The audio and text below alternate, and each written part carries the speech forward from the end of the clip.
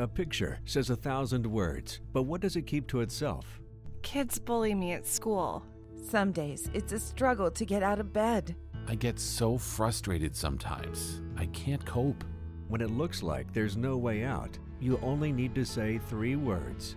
We need help. In the safe, confidential environment of Family Services Incorporated, you can find the joy behind the smile. With specialized therapists and treatment for children, adults, and families, we change lives.